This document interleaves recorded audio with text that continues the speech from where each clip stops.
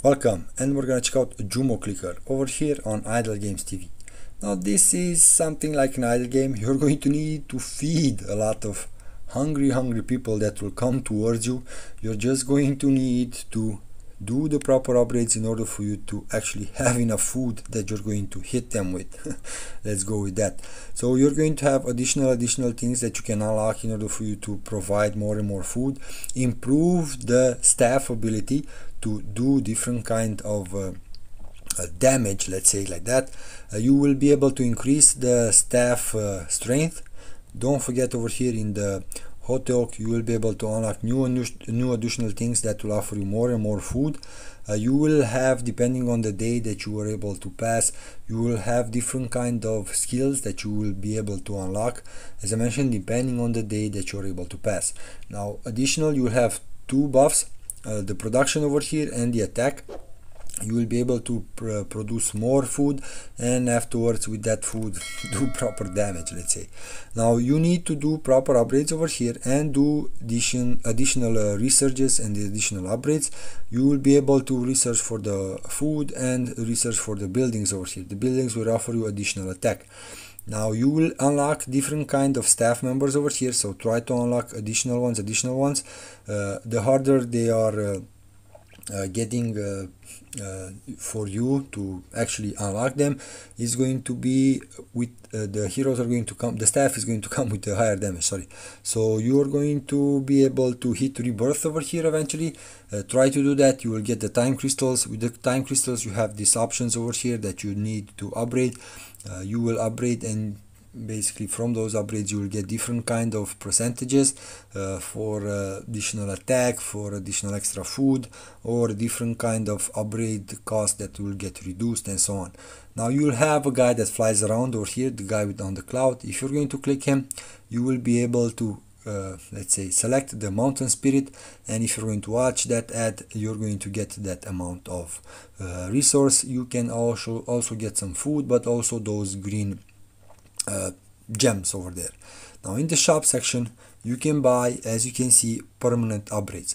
And the permanent upgrades will be the ones that actually stay uh, for the game if you're going to reset if you're going to uh, use rebirth. So what you're going to want to do is you're going to want to focus on the third one the time shard. You're going to want to increase the crystals every time you're going to hit rebirth but even the first two ones okay? So try to do at least uh, level 1 and level 2 for those ones you're going to be able to see that you're going to be able to produce more you're going to have a higher attack. Uh, simple things but don't forget you do need to do these upgrades over here in the sub sh uh, shops section and you will have the skill enhancements. These are going to also be quite quite useful. You're going to want to upgrade these ones as well but depending on how many of those uh, uh I don't know sapphire ones or whatever they're called this this kind of gemstones that you're going to have. Let's go with gems because it's going to be enough. Uh, don't forget every time you're going to get stuck just restart your game progress. That's how you're going to be able to win this game. Don't buy the the amount of uh, food with a specific amount of gem don't do that. It's just a waste of time. Try to improve the other ones under. Those those are going to be the key in order for you to actually win. You're going to have the axe over here. Try to throw the axe. If you do have enough access you're going to be able to uh, get from that pond different kind of resources. If you're going to get them you're going to end up completing different kind of lines on the top of the screen the odd pond and from those you will get additional gems okay? So try to play over there as well. As i mentioned the guy on the cloud try to claim these rewards. If you're going to watch the ad you will get additional benefits. It's going to be up to you. Over here depending on how much will you play and uh, what kind of things you will unlock in this game you will have a path uh, that you find in most of those games and different kind of additional uh, let's say offers for you to put your cash but also up to five daily ads that you can watch to get the clump of jade. Yeah that is jade. Ah, forgot the name okay now guys don't forget to hit rebirth as i mentioned. If you're going to hit rebirth let's hit rebirth just for the sake of the video. You will have the option to get additional uh, crystals. So if you're going to want to do that please do so. This is how you're going to hit rebirth. You're going to restart from day number one and do it again and again and again. It's a repeatable game so it's going to be up to you. Here it is. This is the fifth time that i have resetted my game progress.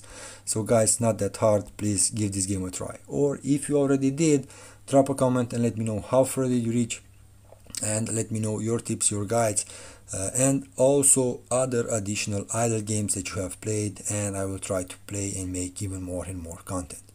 Until next time, take care, don't forget to subscribe, let me know better, better games. Oh, at first, yeah, it's a clicker, I forgot. So you need to click it at least at first a bit in order, until you're going to unlock the first facility. Afterwards it will do its trick, but keep in mind at first you do need to click it a bit okay? So not that hard i'm not that high of a fan of the clicker games but it goes a bit it goes. Until next time take care and be safe. Bye